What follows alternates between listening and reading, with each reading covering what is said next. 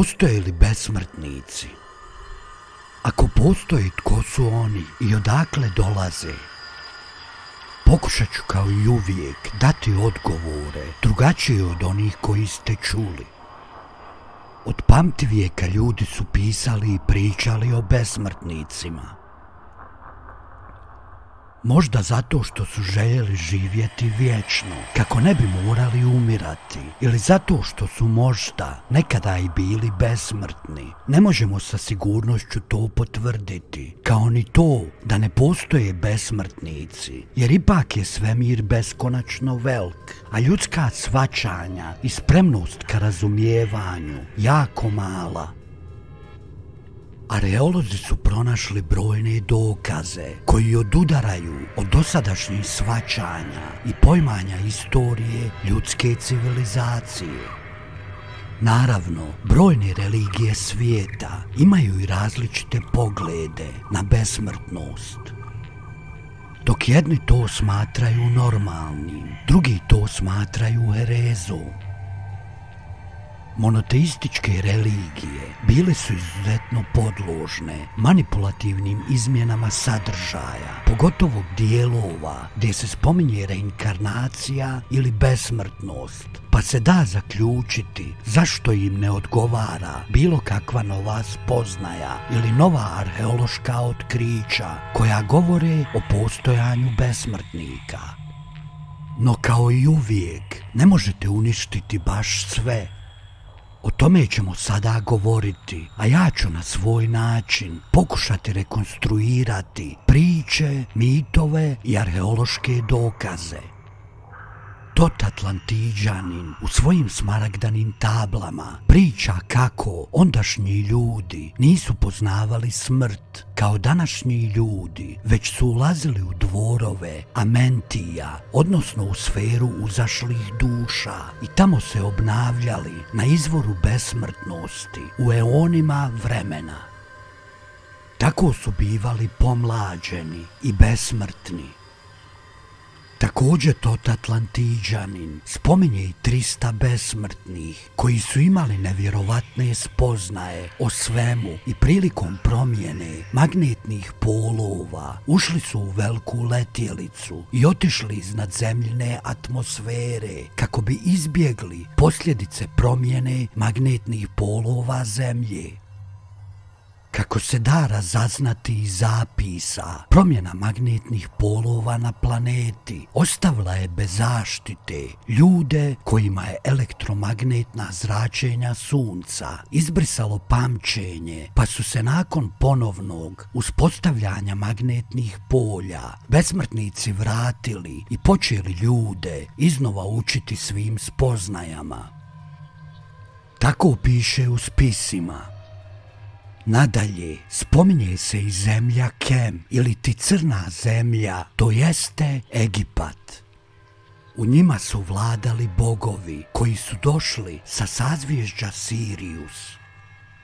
Imali su izdužene glave, zato su i nosili one za nas smiješne kape.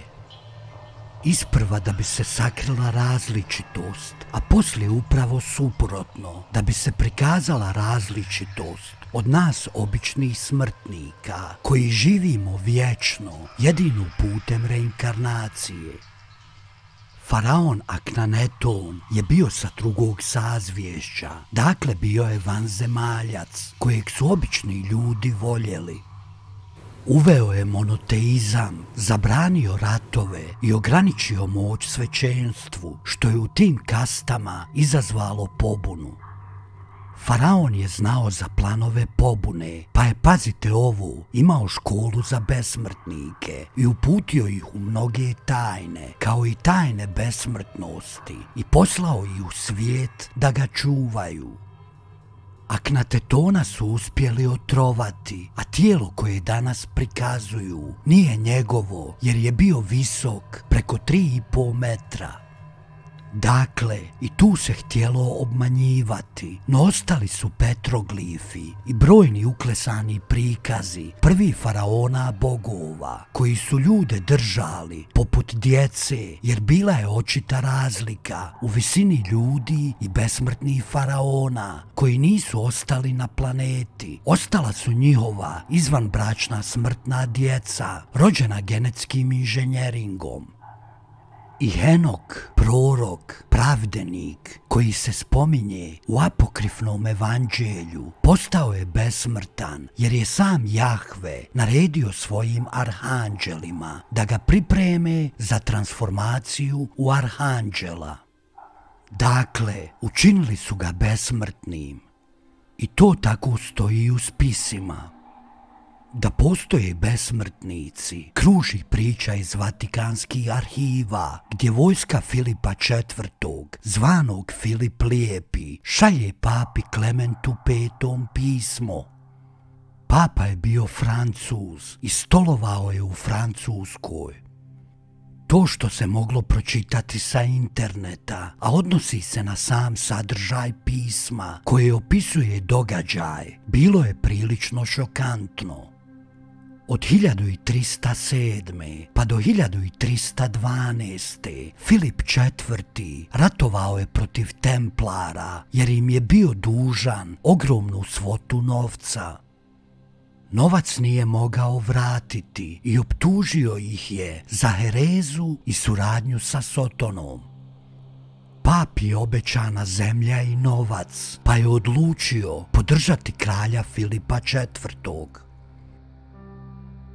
Kada su ubijali i hapsili templare, naišli su na nekoliko monaha koji su samo šutjeli. Odlučili su ih ubiti, no nisu ih mogli ozlijediti. Onda su ih u vreće sa ugljenom i bacili na lomaču. Monasi su ostali živi, ali bez odjeće zapovjednik vojske poslao je pismo papi Klementu V i pitao šta da uradi sa njima. Odgovor je uslijedio odmah, a glasio je pustite ih. Vratit ćemo se u Francusku poslije, a sada da spomenem indijske babaje. Kažu da se izgovara babađe. Bilo kako bilo, oni su jedna vrsta besmrtnika sa posebnim moćima. Oni su besmrtni poput hinduističkih bogova, ali su više poput arhanđela. Oni su na našoj planeti po zadatku tu su dok i zadnji čovjek ne završi inkarnacijski ciklus i njih ne možete moliti da se pojave. O tome oni odlučuju i to ako zaključe da je to neophodno za taj događaj.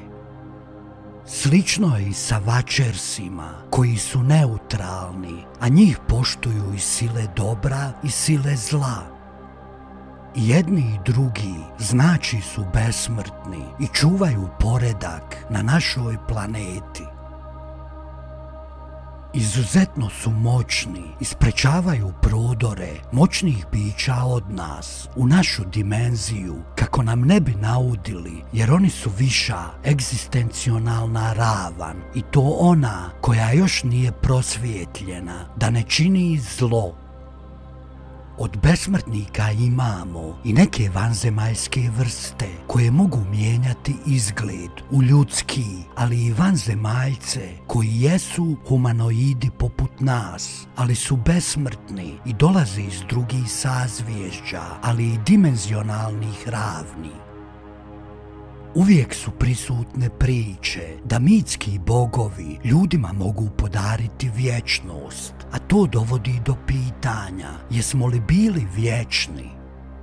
Da, bili smo i to su nam navodno namjerno ukinuli intervencijom na samu DNK, posebnom vibracijom Sada se navodno radi na vraćanju te besmrtnosti, ali uvijek postoje strane koje se tome protive. Zato se između ostalog i ratuje.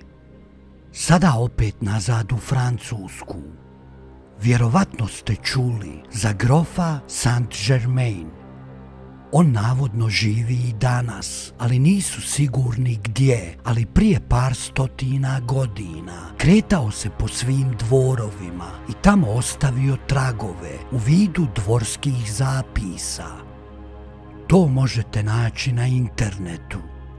Osim u fizičkim tijelima, imamo i besmrtna tijela, astralne strukture. Dakle, i oni se spominju u Totovim zapisima, kao i u knjizi Henokovoj i pripisuju im se plemenita dijela po ljudsku vrstu.